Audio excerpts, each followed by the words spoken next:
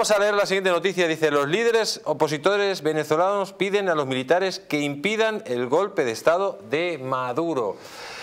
Doña Maybor Petit, buenas noches. Muy buenas noches, Jesús. Un gran saludo para ti y para toda la audiencia. Eh, hoy, Carolina Machado, el señor eh, González han dicho que van a ir hasta el final, que quieren ir hasta el final, que esto no se puede parar. Eh, insisten en presionar a los militares.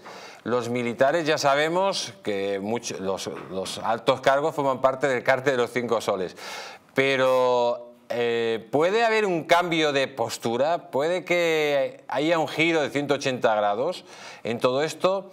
¿O ahora mismo está todo en un status quo perfectamente delimitado? Mira, hoy el ministro de la Defensa, Vladimir Padrino López, fue enfático, se presentó ante las cámaras de televisión con todo el alto mando militar y los bandos o mandos medios para decir que rechazaban de manera categórica esa solicitud hecha por María Corina Machado y por el contrario pidió que porque había sedición en esa solicitud debían actuar los órganos ah, de justicia. Vladimir Padrino López también dijo que estaba en lealtad absoluta con Nicolás Maduro y que estaba Venezuela en una especie de golpe de Estado cibernético por parte del imperio Igualmente reiteró que las Fuerzas Armadas ah, bolivarianas son del pueblo y son socialistas y leales a Hugo Chávez y a Maduro. Así es que poco puede esperarse del servicio y de los castrenses allá.